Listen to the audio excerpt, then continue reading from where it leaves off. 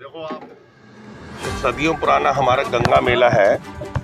गंगा मेले पे हमारे लाखों किसान सभी गंगा में नहाने आते हैं और एक पवित्र एक मेला है ये हमारा। तो इसमें मैं हर साल पुष्प वर्षा करता हूँ तो इस बार भी कर रहा हूँ। क्या संदेश देना चाहते हैं? मैं यही कहना चाहता हूँ गंगा मैया यहाँ सब मतलब जो किसान परिवार हम यहाँ सब इसको मानते हैं तो उसका आशीर्वाद सबके ऊपर बना रहे। जी आपने टिकरी मेले में धर्मशाला भी लगाई है?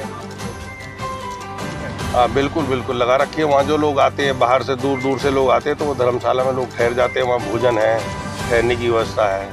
वहाँ पर हमारी दवाइयों की गाड़ी खड़ी है, वहाँ दवाई भी देते रहते हैं।